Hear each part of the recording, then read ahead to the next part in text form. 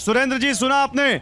यहाँ पर झारखंड की जनता गुस्सा है इस बात से कि बोल दिया गया है कि कटोरा पकड़ा दिया अस्सी करोड़ लोगों को। वो कह रहे हैं, आप सबको भिखारी समझते हैं क्या जिन लोगों को राशन मिल रहा है? क्या कहेंगे इस पे? हम नहीं समझते हैं, इनको तो नरेंद्र मोदी जी समझ रहे हैं। जिस दिन इनको ये समझ में आएगी नरेंद्र मोदी जी को एक वोट पाना मुश्किल हो जाएगा, गौरव।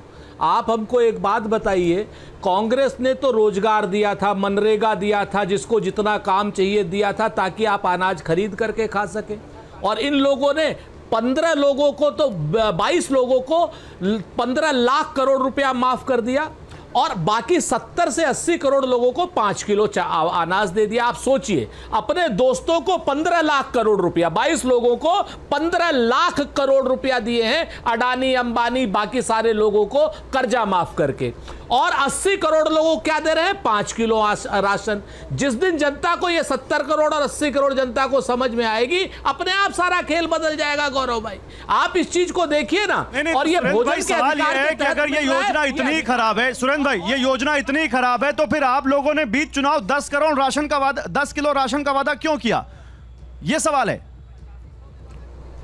गौरव भाई आपसे हाँ आपसे सवाल की उम्मीद नहीं थी हमें क्योंकि आप तो पढ़ने लिखने वाले लोग हैं। आपको तो मालूम है कि भारत की सरकार जब कांग्रेस के अधीन थी तो उन्होंने राइट टू फ़ूड लाए बोलने दीजिए बोलने दीजिए। हमारी जिम्मेवारी है अगर रतन टाटा भी हाँ अगर रतन टाटा भी और अनिल अंबानी और धीरू अंबानी क्या नाम ये मुकेश अंबानी और अडानी भी अनाज मांगेंगे तो सरकार देगी। ये जिम्मेवारी है जो राइट टू फ़ूड के अंतर्गत। जो अनाज मांगेगा उसको तो अनाज मिलेगा। वो दे लेकिन वो हमारा तो लक्ष्य आप लोगों को तो काम जिम्मेवारी ये कैसे? नहीं मैं मैं मैं फिर से कह रहा हूँ, मेरी बात समझिए। मैं ये कह रहा हूँ, ये डिमांड आधारित होनी चाहिए। हमें लोगों के हाथ में ये अनाज नहीं, काम देना है। और अनाज जो मांगे, उसको देना चाहे गौरव मांगे, चाहे सुरेंद्र राजपूत मांगे। जिसको अनाज को चाहिए, उसको अनाज मिलेगा। लेकिन 70 और 80 करोड़ लोगों को पाँच किलो राशन दे करके आप उनको रोज़गार से अलग रखना चाहते हैं। आप उनको रोज़गार नहीं देना चाहते। उनके हम्म। हिस्से के पंद्रह लाख करोड़ आप अडानी के हम्म। माफ़ कर देना चाहते हैं। उसकी कोल फ़ील्ड से सी ग्रेड का कोयला हम्म। लाया है वो और उसका उसने तीन हज़ार करोड़ रुपए का मुनाफा कमाया है 2014-15 में। उस पर कोई बात नहीं होगी। पूरे झारखंड को लूट लिया इस अडानी ने। वहाँ से इंडोनेशिया से कोयला ला करके। आज ही की फाइनेंशियल एक्सप्रेस ठीक है तो मैं यही के लोगों से पूछ लेता हूँ। भैया रोज़गार की बात कर रहे हैं कांग्रेस के प्रवक्ता। सारे दो करोड़ का वादा किया था। आप लोग बोलेंगे इस पे? बोलेंगे? बोले, बोलिए बोलिए भैया। क्षमा प्रार्थी हूँ, मैं थोड़ा विलंब हो गया।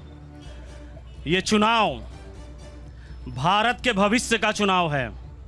ये चुनाव भारत की दिशा और दशा तय करने की चुनाव है। ये चुनाव माँ भारती के भविष्य का चुनाव है। ये चुनाव भारत ही भारत और अखंड भारत के भविष्य का चुनाव है।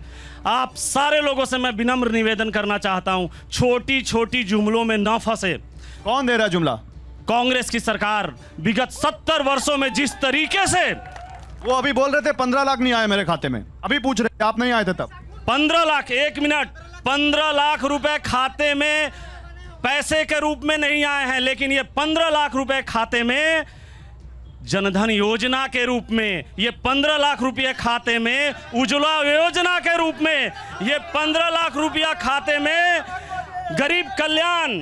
एक मिनट एक मिनट क्या करें? क्या करें? जितना बात है सब झूठा है। आज तक मोदी सरकार ने कोई भी बात पर खड़ा नहीं उतरा। क्या बोल रहे हैं भैया? खड़े होइए। एकदम झूठा बात है कभी नहीं आया है। बीजेपी वाले हमेशा झूठ बोलते कभी नहीं आया। कोई जनधन खाता में नहीं आया। बीजेपी वाले झूठ बोलते हैं। अमित शाह तो पूरा झूठ बोलते लगता है इस बार चालीस सीट भी नहीं आएगा। ठीक है भैया बोलो बोलो। कभी नहीं होगा। खड़े हो खड़े हो खड़े हो खड़े हो। नहीं ये सब बात नहीं आप मुद्दे पे बोलो। बेरोजगार वही लोग हैं बेरोजगार वही लोग हैं जो दो तरह के बेरोजगार हैं। एक तो जो सरकारी नौकरी ढूंढ रहे हैं दूसरा वो जिनके पास कोई टैलेंट नहीं है। जो टैलेंटेड है वो बेरोजगार नहीं है।